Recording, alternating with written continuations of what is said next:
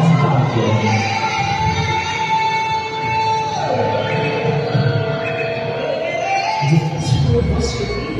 a tribute to the city's flower and as a way to rise up from the devastation of the 1990 tsunami earthquake.